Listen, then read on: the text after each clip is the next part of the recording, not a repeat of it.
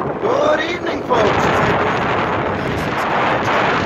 Today's date is February 21st, 2020. Uh, it's a beautiful day in the country. The, the sun is just setting below the hill. As you can see, it's about minus 27 with the wind chill today. It's freezing cold. Uh, I just took my gloves off long enough to uh, do a couple minute vlog and my hands is freezing off me. Um, if the wind dies out now, I'm going for a night run this evening, so I'll uh, try and get some footage of that. Uh, the groomer was out last night. I seen on Facebook this morning the groomer was out and groomed from Come By Chance. Uh, supposed to be nice all weekend, so it should be should be really really good conditions this weekend for those of you uh, who are planning on uh, doing getting a bit of skidooing in.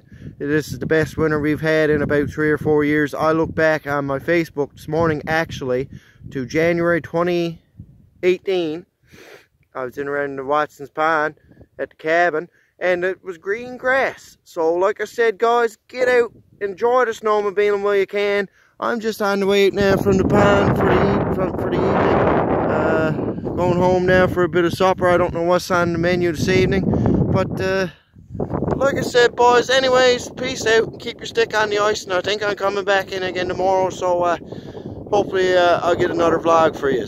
You see the, see the highway. Way the frig over there. This uh, over by Bull Arm over there.